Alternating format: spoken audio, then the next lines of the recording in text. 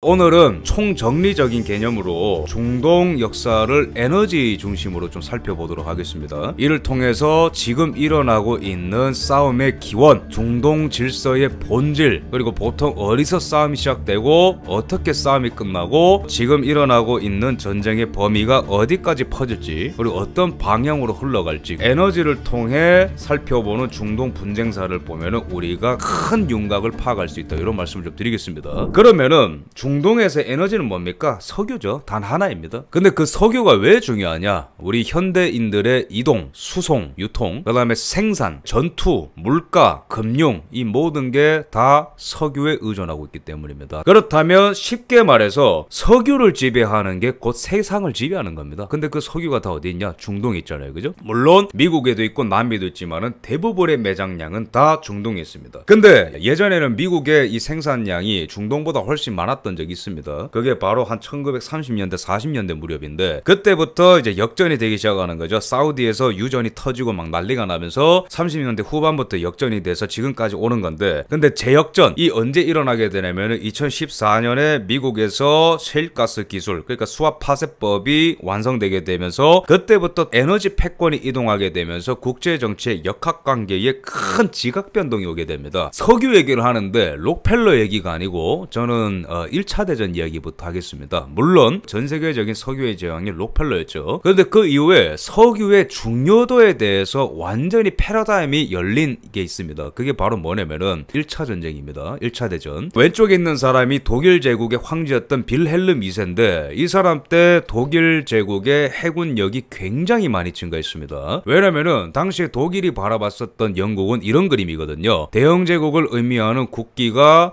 문어 머리 위에 달려 있고 이 문어가 전 세계를 지배하고 있습니다. 그러니까 독일 입장에서는 짜증 나는 거죠. 짜증 나서 영국의 촉수를 잘라내기 위해서는 독일의 이 해군력이 증대되어야 된다. 이게 바로 빌헬름 2세의 주장이었습니다. 근데 이때는 군함들이요 다 석탄으로 돌아갔거든요. 석탄으로 돌아갔습니다. 근데 그걸 보면서 당시에 1차 대전 전에 영국의 해군 장관이 누구였냐면은 처칠이었습니다. 그래서 19세기 후반부터 20세기 초반까지 이 독일 제국이 배를 계속 만들어 석탄 나오는데 다 지배해. 그래가지고 전 세계에 석탄을 막 찾고 막 난리가 났습니다. 독일의 증가하는 해군력을 보면서 처칠이 긴장을 한 겁니다. 그래서 1차 대전 전에 1911년에 처칠이 해군 장관으로서 무슨 명령을 내렸냐면은 영국의 모든 함대 연료는 석탄이 아니고 석유로 바꾼다. 그럼 석탄에서 왜 석유로 바뀌었냐면 에너지 효율성. 무게가 덜 나가고 배가 더 빨리 더 멀리 나갈 수 있기 때문에 독일을 잡기 위해서는 석탄이 아니고 석유로 바꿔야 된다. 근데 그때부터 석유 어딨노 물어보니까 당시에는 이란 왕국에 이 석유가 엄청나게 많이 매장돼 있다더라. 영국의 지질학자들이 찾아놓은 게 있거든요. 여기서부터 영국의 계산이 빨라지는 겁니다. 마치 2차 대전이 끝나고 난 뒤에 이 아시아 문제를 어떻게 할고 미국이 고민했던 것처럼 1차 대전이 진행될 때부터 이미 이 중동을 갖고 어떻게 할지 영국이 고민이 많았단 말이에요. 그래서 제일 처음에는 일단은 독일 편에 붙은 오스만 제국을 깨기 위해서는 오스만 제국이 여기 중동 일대를 당시 다스리고 있었습니다. 상식을 말씀드리자면 1차 대전 때. 근데 1차 대전 때 오스만 제국을 무너뜨리려면은 지금 사우디아라비아 지역에 있는 아랍 민족들을 추동해서 오스만 제국한테 반란을 일으키도록 시켜야겠다. 그러니까 무슨 말이냐면은 우리 입장에서 보면은 다 아랍 사람 다 비슷해 보이잖아요. 그게 아니에요. 투르크 민족이 만든 게 오스만 제국이고 거기 밑에 아랍 민족들이 이렇게 지배를 받고 있었습니다. 그러니까 예전에 조선 있으면은 그 위에 명나라 한족의 명나라가 있고 그런 거랑 비슷한 겁니다. 또는 청나라의 지배를 받았던 조선 이런 느낌이랑 비슷한 거라. 그래서 당시에 영국이 오스만 제국을 내부로부터 분열시키기 위해서 이 사우디아라비아 지역에 있는 여러 아랍 민족들을 찾아다니게 됐습니다. 그래서 알리 빈 후세인이라고 하는 하심 가문에 당시에는 오스만 제국 밑에 헤자즈 왕국이라는 게 있었어요. 그러니까 제국 밑에 왕국 있죠, 그죠? 그래서 오스만 제국 아래 있는 헤자즈 왕국의 알리 빈 후세인 왕을 찾아갑니다. 누가 찾아가냐면은 여기 제가 지도에 사진을 가리키고 있는 맥마흔이라고 하는 이집트 안에 있는 한 중령인 맥마흔 중령 또는 이 사람이 외교관 중에 한 명입니다. 이 사람이 여기 알리빈 후세인을 찾아가는 거죠. 오스만 제국에 대항해서 쿠데타 일으키면은 영국이 나중에 당신한테 아랍 연맹을 만들어 주겠다 약속을 한 거예요. 그래서 이거는 순전히 군사적 정치적인 목적으로서 다가간 거죠. 오스만 제국을 무너뜨릴 수 있다면 막 아랍 민족도 막 다 데려와라. 그게 바로 1915년에 맥마흔 선언이라고 하는 거예요. 그래서 영국이 이때부터 왔다리 갔다리 하는데 왜 왔다리 갔다리냐면은 1917년에는 뭘 선언하냐면은 벨푸어 선언이라고 영국의 외무장관이 벨포였거든. 아서 벨포라고.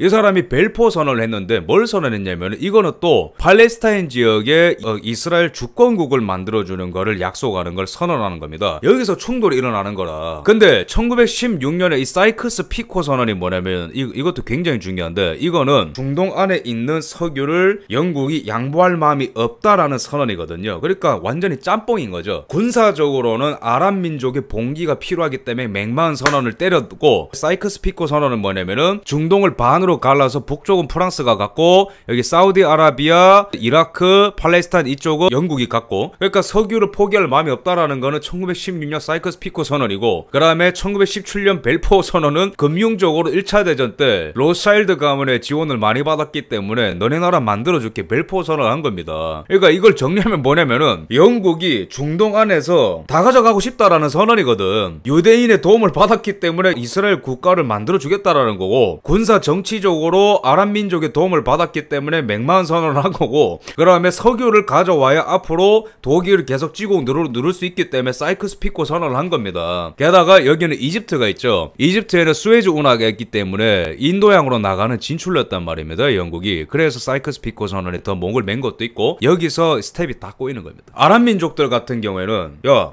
선언 어디 갔냐 이렇게 돼버리는 거고 왜 팔레스타인에 유태인의 이주를 허용을 하는 거야 이렇게 돼버리는 거고 유대인들 같은 경우에는 벨포 선언 했잖아. 근데 왜 우리를 이렇게 100% 지원 안 해주는 거야? 이렇게 된 겁니다. 그래서 1차 대전 때의 영국의 정책을 알아야 지금의 분쟁의 기원을 알 수가 있다. 이런 식으로 좀 말씀을 드리겠습니다. 그 다음에 아까 제가 처칠 말씀을 드렸는데 2차 대전이 끝날 무렵에 이 중동에 보십시오. 제가 아까 30년대에 사우디에서 유전이 터, 터졌단 말씀드렸고 영국은 이미 이란의 빨대를 꽂고 어, 석유를 가져나가고 있었습니다. 근데 원래는 영국이 힘이 강했으면은 이 중동에 있는 석유를 다 가져갔을 거야. 근데 루즈벨트가 딱 보더니 석유 때문에 일본이랑 전쟁 났고 석유 때문에 일본이 그 진주만 공습한 거 아닙니까? 그걸로 보면서 미국이 생산과 전투에 있어서는 석유가 없어서는 안 된다. 그래서 중동에 관심을 가지게 됐던 겁니다. 그래서 처칠한테 이렇게 얘기하는 거죠. 그뭐 듣자 하니 중동에 뭐 석유 많다면서 이러면서 딜을 시작하는 거죠. 그게 바로 Anglo-American Petroleum Agreement라고 하는 건데 이게 1944년에 맺어진 겁니다. 미국과 영국 사이에. 그래서 이건 뭐냐면은 처칠 중동을 딱 반으로 갈라서 어, 북쪽 이란 쪽은 당신이 다 가져가고 그 다음에 이라크는 중립지대로 놔두고 어, 이라크 밑에 사우디 이쪽은 어, 미국이 다 가져갑니다. 그러니까 반반 제한을 한 거죠. 아, 근데 영국은 그걸 받아들일 수밖에 없죠. 왜냐면 2차 대전 때는 이미 미국이 최강 국 가로 어, 올라섰고 영국은 지는이었기 때문에 막 그렇게 해라. 그래서 이란에는 예전부터 영국의 지질학자들이 찾아가가지고 20세기 초반부터 이미 석유를 다 찾아냈습니다. 그래서 영국이 이란 왕국 시절에 앵글로 페르시안 오일 컴퍼니를 만들어서 20세기 초반부터 석유를 끌어오고 있었던 거죠. 그래서 루즈벨트가 양보한 거는 오랫동안 너네가 이란에서 석유를 가져왔던 그 이익은 가져가지 않겠다. 다만 새롭게 발견되는 거는 다 우리 거 이렇게 해버리게 된 겁니다. 그래서 미국 같은 경우 에는 옛날에 그 록펠러가 미국 내에서 다 석유를 막 캐내고 장사하고 그랬잖아요. 근데 왜 중동까지 오냐? 왜 그런 거냐면은 30년대 후반에 석유가 아주 중요하다고 시선이 막 석유로 쏠릴 때 미국이 당시에 겁을 먹었던 게 뭐냐면은 지질학자들이 당시 기술이 부족해서 북미 지역을 막 싸돌아다녔는데 석유가 좀 매장된 데가 저 끝난 것 같은데요? 이런 얘기가 막 나온 거예요. 30년대 후반에. 그래서 당시에 미국 정부가 바짝 긴장해가지고 야 전 세계 다 뒤져서라도 석유가 있는데 빨리 찾아내. 그래서 당시에 미국의 지질학자 중에 에버렛 리 드골리어라고 하는 사람이 사우디를 돌아다니는데 사우디에 보니까 석유가 엄청나게 많은 거라.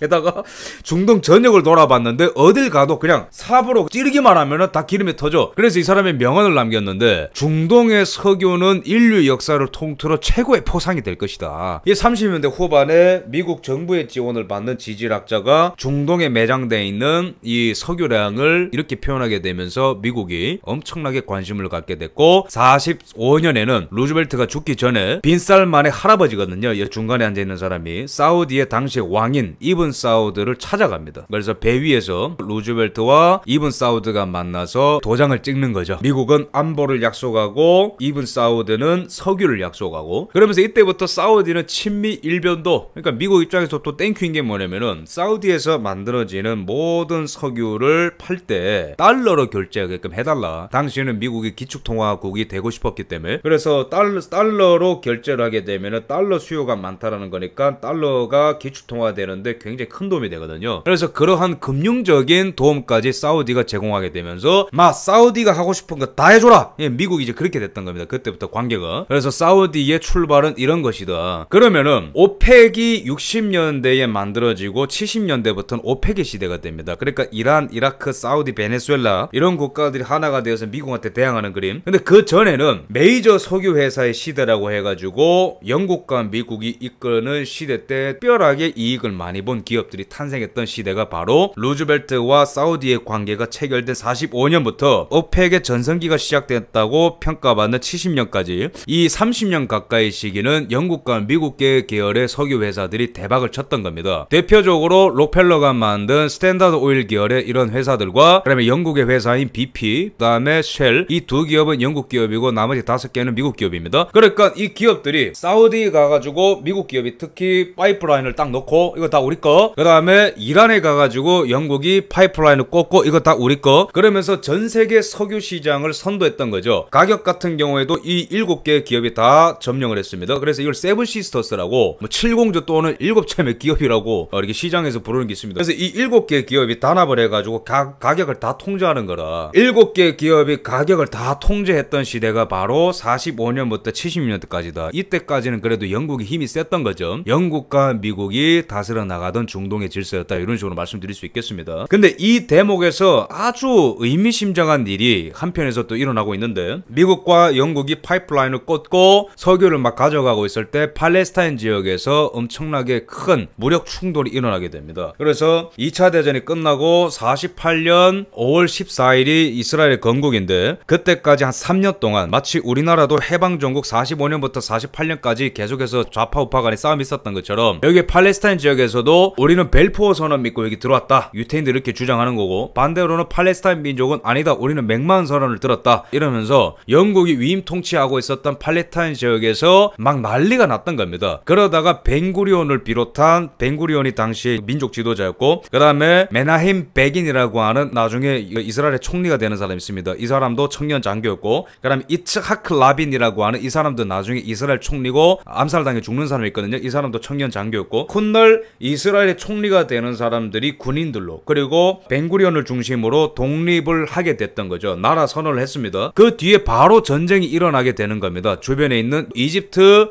레바논, 시리아, 요르단 이런 데가 막 영국이 우리 여기 맡겼다니까 근데 유태인들 너네 여기서 뭐하노 이러면서 어 너네 없어져야 돼. 그래서 당시에는 이집트가 대빵 노릇을 했단 말이야. 이러면서 전쟁이 일어나게 됐던 겁니다. 그게 48년 5월 15일부터 일어났었던 49년 3월까지 이어지는 1차 중동 전쟁인데 이때 이스라엘이 one-side로 이겨버리게 됩니다. 그잘 무장돼 있는 정신적으로 무장돼 있고 그 다음에 전투 경험도 굉장히 많은 사람들이 이 사람들이 그 다음에 이 이스라엘이란 나라의 지정학적인 중요도를 미국이 깨달아가게 되는 겁니다. 아 중동에서 특히 사우디, 이란, 이란은 이때까지만 하더라도 미국 편이었거든요. 그래서 이 세계로는 부족하고 당시엔 냉전이었기 때문에 이스라엘도 우리 편으로 확실히 만들어줘야 되겠구나. 그러면서 그 뒤부터 미국이 이스라엘을 굉장히 자기 눈동자처럼 지켜주게 됐던 겁니다. 근데 이 대목에서 또한 알아야 되는 게 미국과 이스라엘 관계를 알아야 됩니다.